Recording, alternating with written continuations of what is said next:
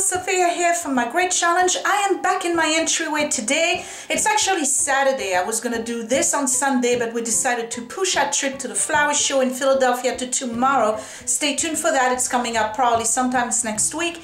Today I have a lot of work to do in this particular space. Last week you saw me paint it from dark green to bright sunny yellow and we really really like it. It's working beautifully. So what I'm gonna do today is paint the inside of the door.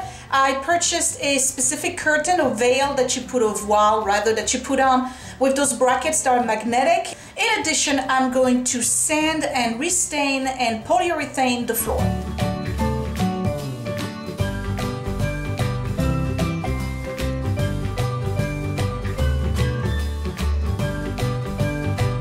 So just to give you a quick recap, this is what I did last week.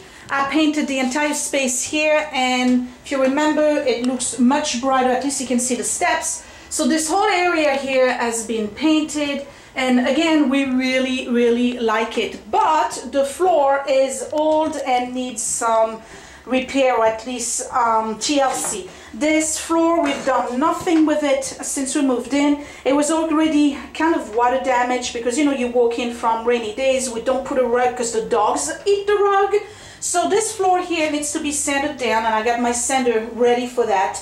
And once it's sanded, I'm going to restain it the same color than the gate and it's pretty much the same color than the pocket door that goes to the kitchen. And I'm hoping it's gonna look good with the lighter color of the pantry right there. So once that's done, I'm gonna start by sanding and cleaning it nice and after that I'm going to paint the door here. I already washed it last week so the surface is done. I just got to give it a nice coat of paint just to make it uh, a little bit brighter and you know look better I guess. And then I'll install the uh, curtain there. And once that's done I'll be ready to stain the floor. And then I will put two coats of polyurethane. I'm gonna sand in between coats. And here's the cat coming in the life of cats. Go in, go out. Go in, go out. Hi, Vespa. We don't see her much in videos, so hold down. She knows where she's going. There you go. Bye. So I'm starting to sand now because this is really the one thing I don't want to do. I have to do it and I want to get it out of the way. So this is my regular sander. I have two types of uh, sanding band. This is actually the very smooth one. That's not the one I'm going to use first. First I'm going to use the rough one so that I can get rid of you know, uh, paint stains that I have, the old shellac and all of that. And once that's done and swept, I will use the fine one. And after that's done, I'll do a hand sand with a um, steel wool, just to make sure the surface is really nice. I am not doing anything with these here, uh, only because I just don't have the time and I don't see the point. So I may kind of like gently rub them with the steel wool and see what it looks like if I put a coat of the um, uh, stain because there's going to be a contrast in color which is already um, existing anyway so I don't know. We'll see. Let me get started. Alright so I have my sander I changed the band this is the rough one. I'm just gonna go gently here very gently here on the edges because I don't want to bevel them. I'm going to do a little bit here and definitely a lot on the steps and the uh, uh, flat area I'm going to start with this area here. Let's see what it looks like.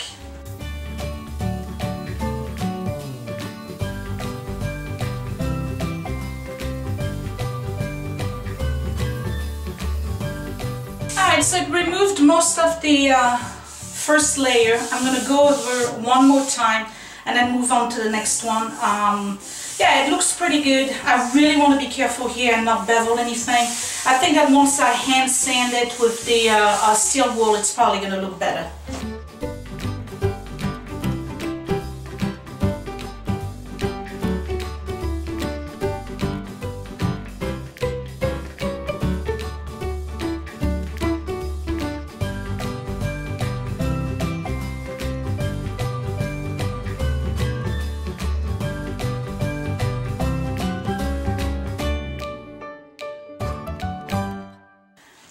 You can see uh, the difference, I still have a lot of the uh, dust on the floor.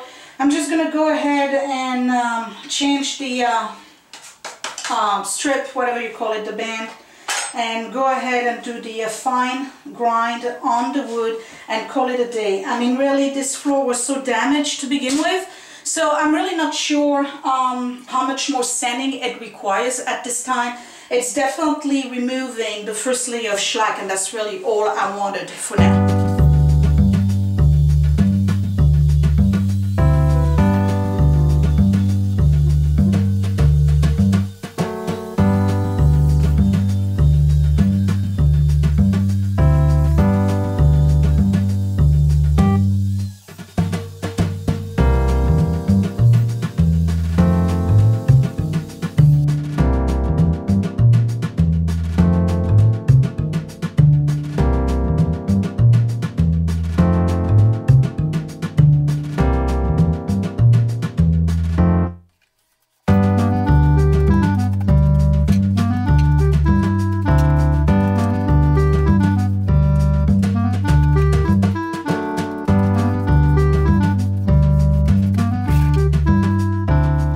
So this is sanded and what I just did is uh, take a wet rag, like kind of damp rag, and go over the whole area to remove every little speck of uh, wood dust that's in there, particularly in the corner, because when I'm getting ready to uh, put the stain on and the shellac, it's going to be real nasty. I'm going to have those little grains of sand and whatever inside the, uh, uh, the shellac and the stain. And what ends up happening when you have all those little specks everywhere is that you have depending on how you look at the uh, shine on your floor, you end up having this dullness and those little specks everywhere. So I'm trying to do as clean of a job as I can. This is not the best sanding job I've ever done, but you know what? After I put the color and the shellac on it, trust me, it's gonna look much better than what it was before. So now I'm just gonna go ahead and paint the door. And for that, I'm using the Rust-Oleum Painter's Touch Ultra cover. This is the same one I use for my old vanity upstairs. This is a high gloss, high white, super easy to uh, roll onto the door. Not gonna sweat it, I'm just gonna do the edges, you know, like the bars and stuff and give it one coat, that's it. And then I'll be ready to install the curtain. So for the doors, I'm using um, the regular brush. It's the same one I had last time, by the way, for the yellow, I just cleaned it. Uh, and I'm gonna do the paint I have a roller as well, but I'm gonna do um, those parts where the roller doesn't go in first, so which is this. And from far, I don't think you can see the difference in color, but this door is actually off-white, and I am painting this a bright white. So it's going to really, however subtle, it's going to brighten up the space a little bit more. So I'm doing the inside first of those frames, making sure I get in all the grooves, right? And I'm going here all the way to the edges because this part here I'm going to do with the roller. And the only reason why I'm doing this is because I really, um, I'm trying to cut time and also I don't want to have too much brush strokes because this particular paint here is very thick so what happens is that when you have a brush and depending on how you do it, you're going to have brush strokes and I don't want that. I want it to look as neat as possible. So again, just doing this and I'm only doing one coat guys. I don't think I need two. I'll see once it's done whether or not I do need a second coat.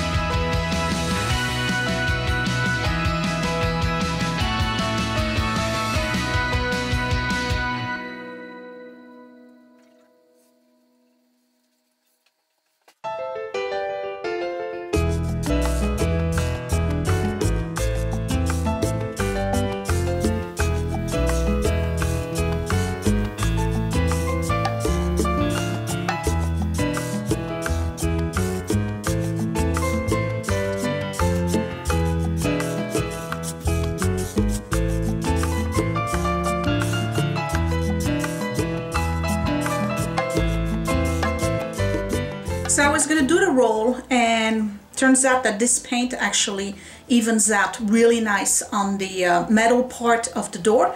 So if I brush, you know, up and down and sideways or whatever, it's not leaving streaks. I'm happy about that. However, the paint, um, I guess because the door is still a little bit cold, because, you know, it's still March here, after a while, like when you go over a second time, it starts um, clumping. So you just got to do a quick one coat. I'm going to do a second coat. I said I wasn't, but I'm going to do a second coat. So I'm letting it dry right now and Scott was doing the deck, you probably saw that. He was kind of throwing water all over the door on the other side and then some water seeped through. So that means I have to redo the seal. I thought the seal was good and that's probably one of the reasons why we have so much damage on this wood at the seal itself because there's water coming in. So eventually I'll redo the seal sometimes in the next video, I guess, when I do the outside because I have to do the outside of the door too. I'm not just going to do the inside, I'm going to do the outside. We decided we're going to paint it red. Um, the door, the, the house itself is going to get resided eventually in blue at some point, probably within the next year. We don't know yet. You know, it's fonts. Right? So it's going to be done, and the front door will be red too. So that way I can kind of mess around with the kind of red that I want. And I have to redo the frame around it too because there's some water damage on the wood at the base. So I don't know if I'm going to redo the frame itself or just repair the wood for now. Because when the house is getting resided, going to be recovered as well, probably with aluminum or whatever siding, plastic they use now. Um, anyway, so the door's got to dry and while this is drying, I'm going to go ahead and show you what I purchased as a curtain and curtain rods. So in the dining room, um, this is the curtain that I purchased. This is a Stylemaster Elegance Voile for a door panel. You see that? Okay, I'm going to have to iron it. And then I purchased two of those magnetic rods and realized that you can actually put them on the fridge. You see they have um, them right here on the fridge. You can put them on the side of your washing machine as well, in addition to the door. So there's one for the top and one for the bottom to hold the curtain both ways. But I purchased another two of these. They're kind of cheap. They're like $7 each. And I'm to see what I can do with them if I put them in front of the uh, washing machine for some a towel rack or maybe I can put one on the fridge and with hooks hang some little cup containers for pans and things like this just to kind of declutter. I don't know, maybe it would look cool. Maybe I can put plants, whatever. So I have two coats. Looks pretty okay to me. I'm ready to install those. So these you can see are magnets and the door is metal. So basically you can put it anywhere you want on the door and I'm gonna do that. I've got to, uh, it's kind of complicated because uh, I'm not sure, I'm not sure if I want to remove it to put the curtain. So for this particular one, I'm going to install the curtain on it first. And I ironed it already. I should have removed the uh, label. And then just put the other extension here and here we go. So uh, I'm gonna put it a little bit higher and like this. And it does um, it's definitely a serious magnet. So it goes like that. And then the other one will go uh, right here at the bottom. So it's uh, it's pretty, it's diffusing the light. I kind of like it. I don't know if you can really tell because you are backlit.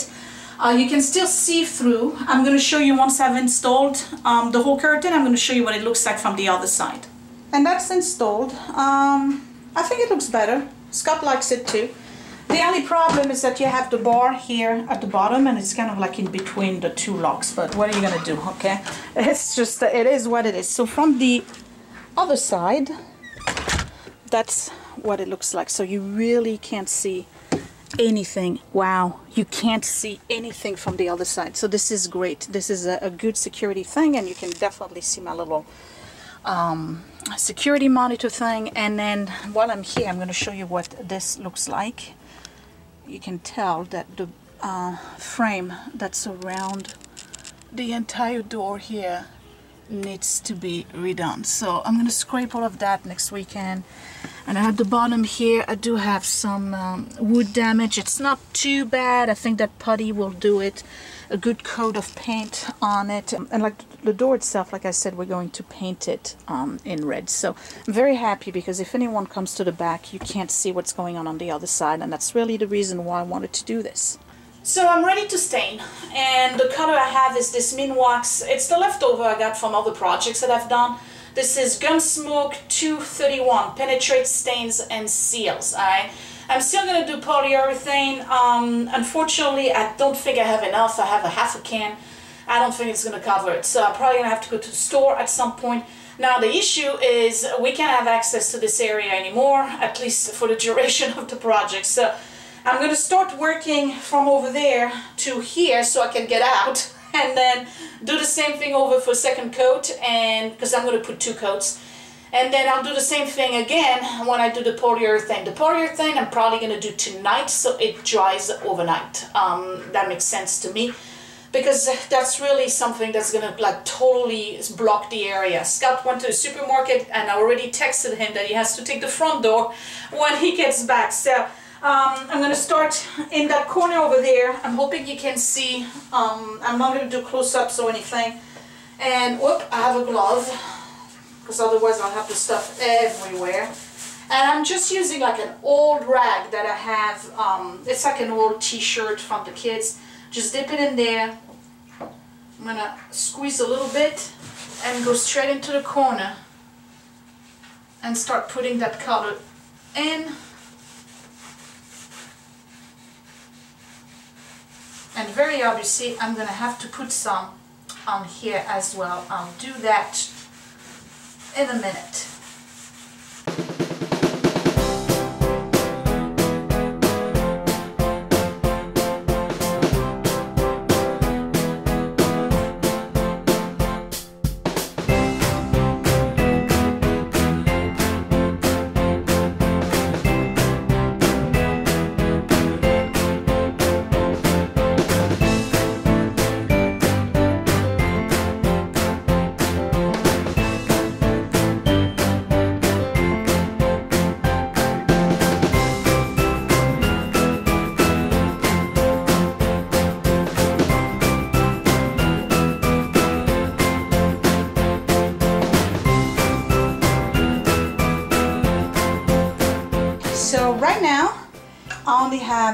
One coat of the stain and I'm pretty happy with the way it looks. It matches perfectly the rest of the wood. Um, it really does. There's some areas where it's a little bit dark. I'm going to assume it's parts where there were damage and I didn't sand properly but once I put a second coat and I got the shine from the polyurethane I don't think it's gonna show as much. Um, the door, the gate here is still open, but um, once it's, you know, all dry and stuff, I'll show you what it looks like. In this area with the door closed, I'm pretty happy with the results. So far, I'm really liking it. It looks bigger, it looks brighter, it looks cleaner. I really like the curtain and the fact that you can't see through, so this project is coming along pretty good. Um, I'll see you in a second when I put on the second coat and then I'll start the polyurethane, let it dry, smooth it with the uh, um, fine steel wool and then apply a second coat. Okay, so I'm ready to do polyurethane. I was gonna go to the store and uh, buy new one, but you know what, I still have some. This is Rust-Oleum Ultra Cover Gloss Clear. I'm just gonna use this, see how much I have. I may have enough, I don't know. I got a regular uh, synthetic brush. Now when you do polyurethane, there's certain rules. One, you do not shake the can because the last thing you want is to have bubbles. And then when you dip your brush, you just want to dip it um, about three quarter of the way and you tap it gently like this. You do not rub your brush against the edges. Again, that's to avoid bubbles. And you just go within the grain. Alright? Just like this.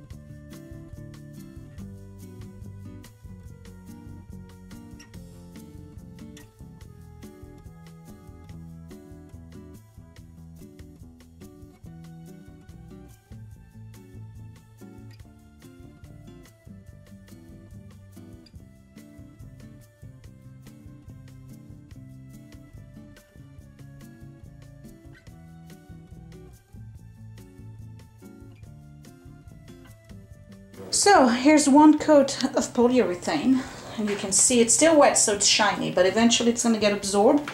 most of it in the wood. I'm gonna let it dry and sand it lightly with the steel wool and then I'll put one last coat. To be honest, I think I have enough left. So I'm gonna just let this in there so it can stay wet. While it's drying, it's probably gonna take about 40 minutes and then um, lightly sand it again.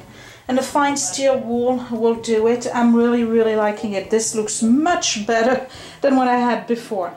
So this is dry and I'm just gonna go ahead with my steel wool and I'm gonna go over the whole area. And what I want to do is create a little bit of a grit for the next layer to go on smoothly on it and I will be done for the day.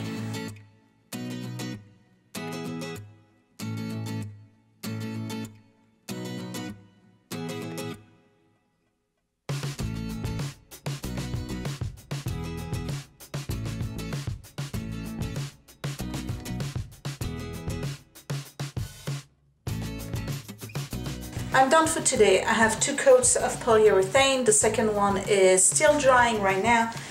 This, this is what it looks like. Um, you can see lots of shine going on here. Let me tell you, this floor looks so much better and it's so much more inviting here. Now, there's some little spots where it's a little bit duller than others. I don't know if you can see.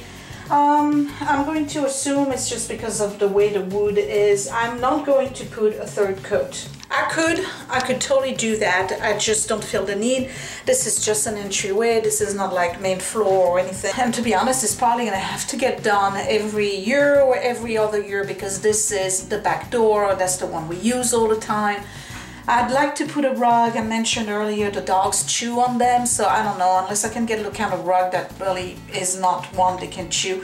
It would be nice, you know, just to wipe feet and everything. We could do that outside as well. I don't know. I got to think about it. But for now, it's done. Listen, it's a small project. It really didn't take that long, um, about five hours altogether, and most of it was waiting time for the stuff to dry. But it really does make a big difference. I mean, this is the area that you see when you come in. As soon as you come in, that's what you see. So, you know, it just want, I just want it to look good, basically. So, Next week I will do the um, outside of the door and then I'm thinking about doing something with the walls. I'm gonna do some um, just a little ledge shelves thing. They look like little L's, not thick. They're just gonna be about maybe two, three inches, just enough to put frames on them and make a selection of very nice pictures and artwork that we like just to kind of like, you know, give a little bit of a, whimsy feel to the area, but really no coats, no bags, nothing, nothing on the floor. I don't want a basket, nothing on the floor. So this is done. You let me know down below what do you think. Do you like the way it's progressing? Um, do you like the color of the wood? I mean, I'm trying to match as much as I can the environment here so it does have a continuous feel or you know at least it ties in together. Um, so let me know down below. Give me a comment give me a thumbs up if you like it. Subscribe if you're new and I guess I will see you next week to do the outside of the door. Remember tomorrow we're going to the Philadelphia Flower Show it's the last day and the butterfly experience. So I'm going to do a video on that.